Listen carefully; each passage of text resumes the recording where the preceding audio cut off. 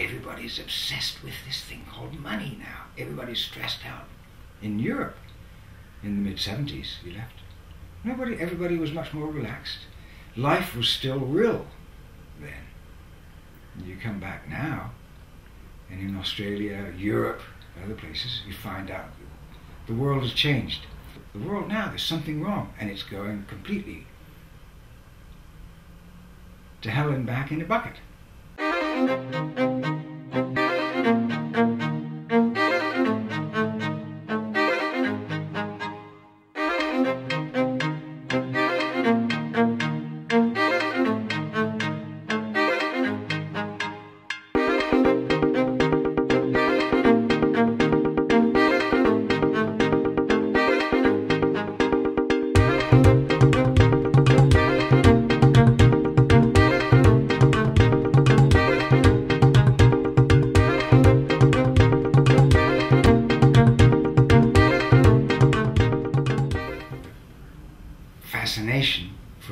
cultures, other traditions, a respect for history, a respect for other traditions, an awareness through family history of the kinds of abuses that colonial powers have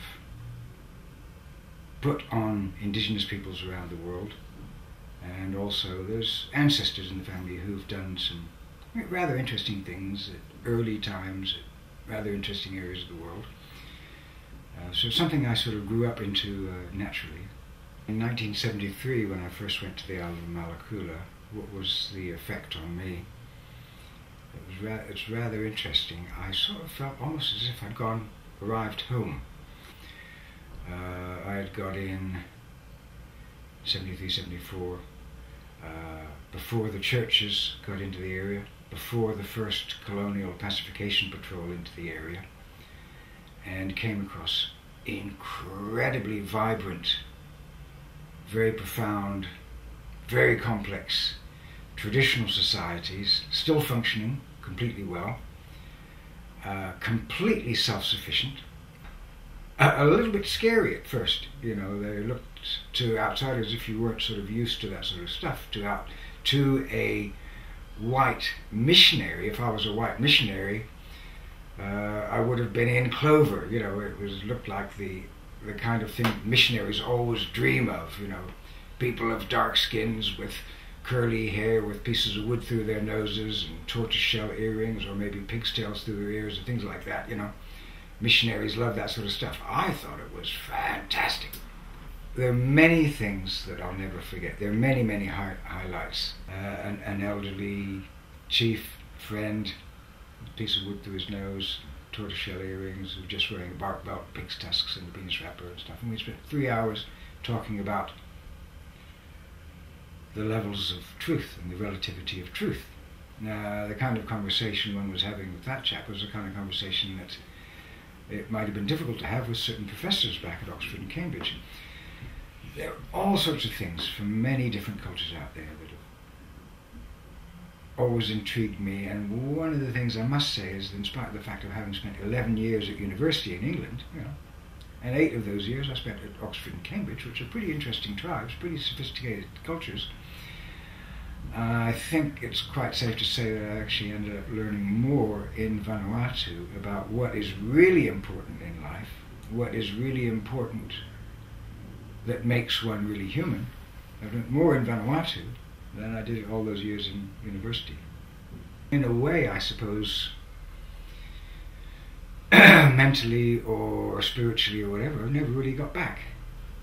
Uh, I'm still there to a certain extent here.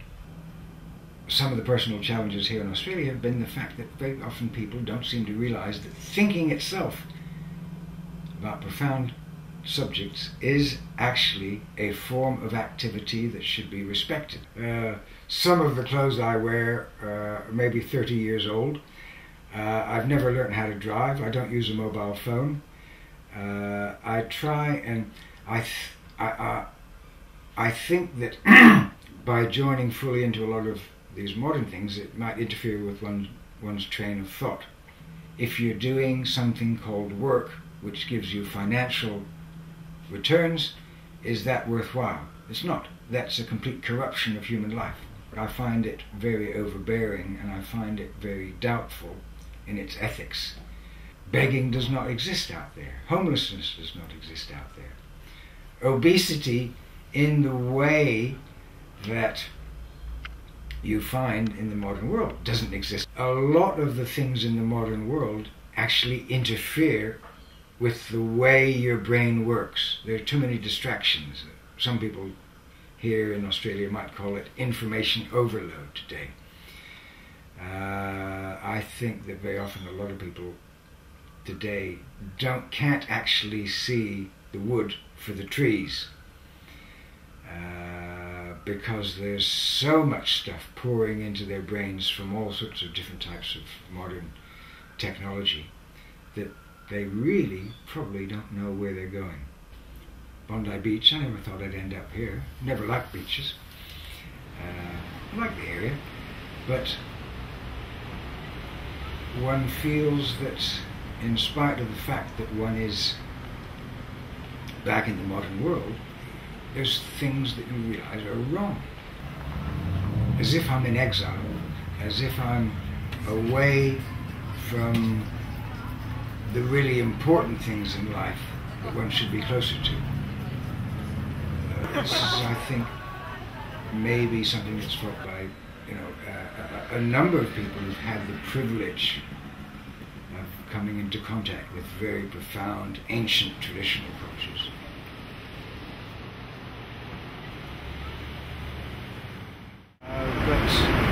From the point of view of Pacific Islanders, there's a certain amount of correlation there because the thing is, many of them suspect that the modern white man's world is actually coming to an end through its own mistakes.